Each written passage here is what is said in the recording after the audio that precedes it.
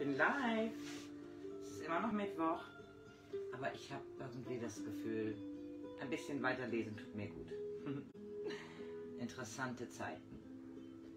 Ich lese aus Lydia. Das ist eine Geschichte, das ist die Fortführung von Bliss Afterlife. Wer es glaubt, wird selig. Das schrieb ich zwischen 20.06 und 2017. Und dann äh, war ich fertig damit und dann hatte ich Lust weiterzuschreiben und habe ein zweites Buch angefangen. Äh, wir sind jetzt bei Kapitel 33. Äh, der Titel ist Lydia in Deutsch und in Englisch und äh, es geht um eine Reinkarnation. Die erste Re Reinkarnation war Lydia, die ist jetzt schon geboren, ist die Tochter von Faye und Ben. Und jetzt hat Holly erfahren, dass sie Großmutter wird. Ihr Sohn Tony und seine Freundin Melanie erwarten ein Baby. Kapitel 23 Faye und ihre Familie. Chris hatte sie abgesetzt äh, bei Bliss House und sie waren alle müde und versammelten sich im Wohnzimmer. Sie hatten Frühstück außerhalb gehabt. Confucius mochte gerne typisches englisches Frühstück und Don Ying liebte Rührei auf Toast. Sie hatten einen richtig schönen Tag gehabt, die Stadt zu entdecken und gingen den Strand entlang und Confucius dachte, dass die englische Seaside einfach quaint war. Sie hatten sich oft wiederholen müssen und haben viel gelacht, weil es war wirklich quaint, was er sagte, und keiner wusste, was er meinte. Er sagte ihnen verschiedene Dinge in Chinesisch und sie mussten das wiederholen. Und dann war es sein Turn zu lachen. Lydia war endlich mal eingeschlafen in ihrer Wiege und alle hatten sich hingesetzt zum Essen, als das Telefon von Ben klingelte. Er sah, dass es Toni war und antwortete. Alle fielen ins Schweigen. Was ist los? Er hörte zu und dann sahen sie, wie seine Augen immer größer wurden. Sag das nochmal, Toni. Ich will das gerne auf den Lautsprecher machen. Melanie ist schwanger. Wir werden einen kleinen Milton haben. Vor Dezember, glaube ich. Fee sprang auf, sprang auf und lachte. Das sind wunderbare Neuigkeiten. Oh, I love it, I love it, I love it.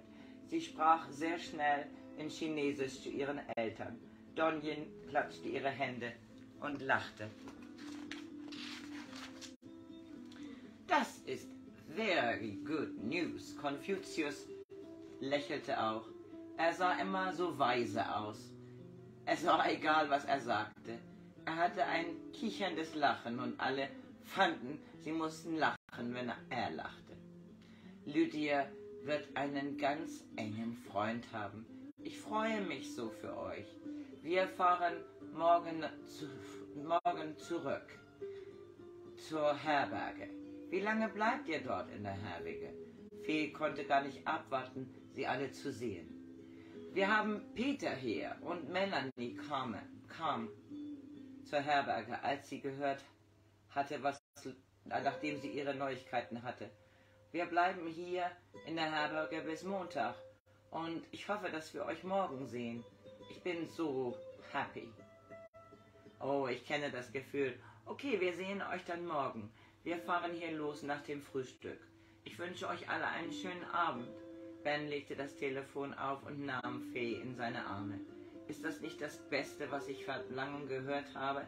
Ich kann mir gar nicht vorstellen, dass Toni und ich beide kleine Kinder haben, die zusammenspielen könnte. Er hörte, dass Lydia angefangen hatte zu weinen. Lass mich nach oben gehen. Ich werde ihr die Neuigkeiten erzählen von ihrem neuen Freund Milton, der auf dem Weg ist. Es ist typisch für Melanie zu wissen, was, was es ist und den Namen, bevor sie eben, bevor sie einen runden Bauch hat. Kapitel 24, äh 34, sorry, Kapitel 34. Das Treffen at Davids neuem Haus. Susan und David hatten aufgeräumt und das Dinner war im Ofen, als Holly und Tony ankamen. Oh mein Gott, ist es not exciting? Ist es nicht aufregend? Susan hatte Holly in das Conservatory gezogen, sobald sie angekommen waren und ihre Hallos gesagt haben. Chris war froh, dass er David in die Küche folgen konnte. Es war alles ein bisschen viel für ihn. Er hoffte, dass David ihm ein Bier anbietet, bevor irgendetwas anderes. Der, die Fahrt hierher war voller Spekulationen gewesen. Holly redete und redete. Sie hatte ihre Gedanken voll auf Großmutter-Themen. Und es war probably am Anfang der Liste von Aufregung für Holly. Er hat versucht, seine Ohren zu schließen nach einer Weile. Sie hatte andauernd gesprochen über die Dinge, die sie machen wird und Ideen und Vergangenheitserinnerungen und er hatte keine Lust mehr, das zuzuhören. Jedenfalls war es für ihn alles viel zu spekulativ. Er war froh, David, David war hier, mit dem er sich unterhalten konnte. David sah ihn an. Ich nehme an, du kannst ein Bierchen gebrauchen? Er hatte es ihm schon eingegossen und gab ihm das Pintglas. Das kannst du laut sagen. Chris wischte sich den Mund, nachdem er ganz schnell den fast das ganze Glas ausgetrunken hatte. Ich kenn, ich kann, ich kann dir gar nicht sagen, wie froh ich bin für Tony und Melanie, aber um ehrlich zu sein, Tony, äh, um ehrlich zu sein, Holly geht mir auf die Nerven im Moment. Chris konnte kaum ein Rülpsen unterdrücken und beide fingen an zu lachen. Keiner konnte sprechen für eine Weile. Ich weiß, ich weiß, was du meinst. David lachte immer noch. Nachdem er gerade Susan erst wieder getroffen hatte, waren die letzten sechs Monate recht aufregend gewesen.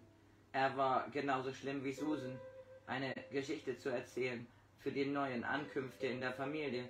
Er konnte sich erinnern, als Margaret schwanger war und ihre Mutter war ein ewiger Besucher. Das hat ihn fast die Nerven gekostet.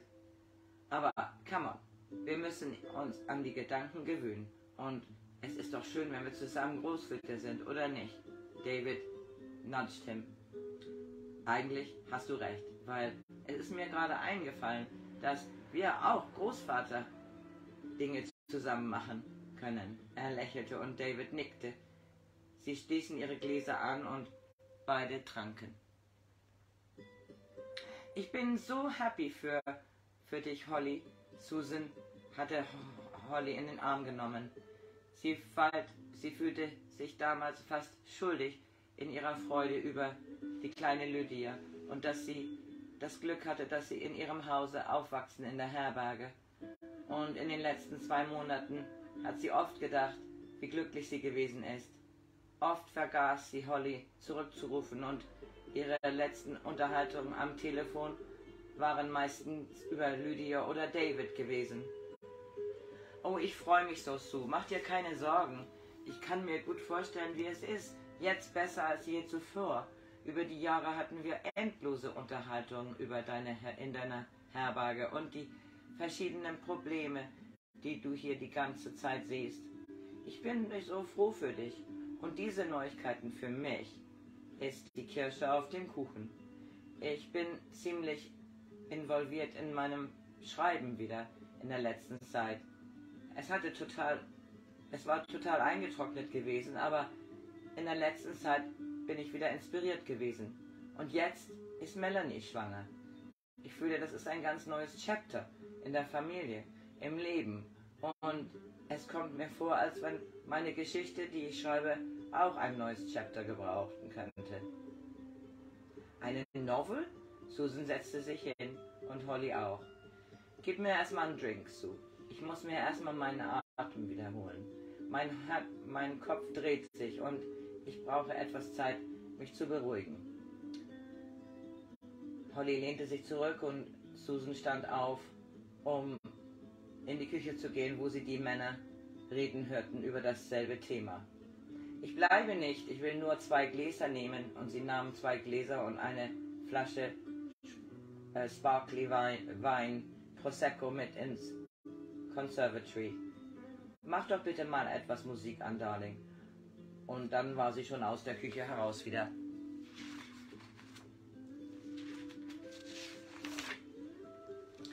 Lass mich das erstmal aufmachen hier. David, mach mal Musik an und lass mich mal das Licht hier ein bisschen ändern. Wir brauchen ein bisschen Frieden hier und ein Glas Bubbly, um zu feiern. Susan machte die Lichter etwas dunkler und Holly lehnte sich zurück. Plötzlich hörten sie leisen Jazz spielen und sie ließ einen langen Atem aus. Susan gaß ihr ein Glas ein und setzte sich zurück.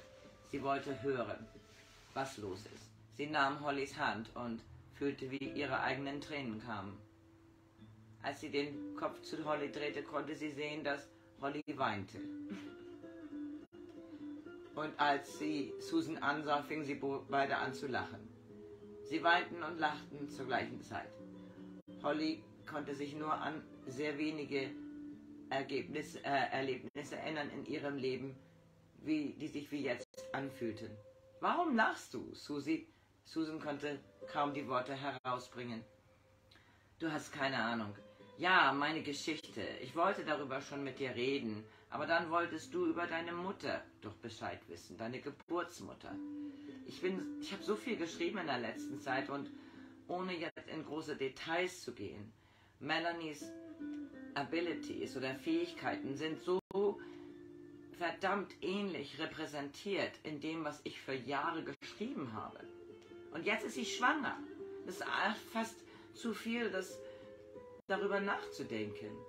Und unsere zwei Großkinder werden so special sein. Oh, ich weiß ganz genau, was du meinst. Faye hat so viel Einsicht mit ihren Träumen und so weiter. Sie hat geträumt und er hat eine Vision von dem, was sie bekommen hat. Und die ganze Beziehung mit ihr und Melanie, das ist ein neuer Ankünfting in unserer Familie. Was für ein Unterschied wir haben in den letzten Monaten. Auch ohne David. Als wenn das nicht das größte Erlebnis ist für dich, Susan. Come on.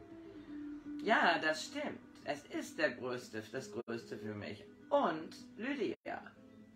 Hey, das ist doch kein Wettbewerb hier. Sie lächelten sich an. Ihre Gläser waren fast ausgetrunken, als David und Chris kamen, um sich zu, sie, zu ihnen zu setzen. Komm her, das ist nett, euch zu sehen. Komm, lass uns mal alle darüber sprechen, was hier passiert ist. Holly klopfte das, den, den Sitz neben sich und David ging, um seine Gitarre zu holen. Oh, das ist echt eine gute Idee, David. Holly konnte niemals genug bekommen von Zuhörern der Gitarre oder der Gitarre zuzuhören. Sie machte die Musik im Hintergrund aus.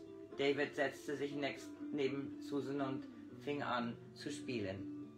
Isn't she lovely? Und sie fingen alle an mit ihm zu singen und der Abend hat begonnen. So, das war das Kapitel 34 und das nächste ist das Kapitel 35. Bye!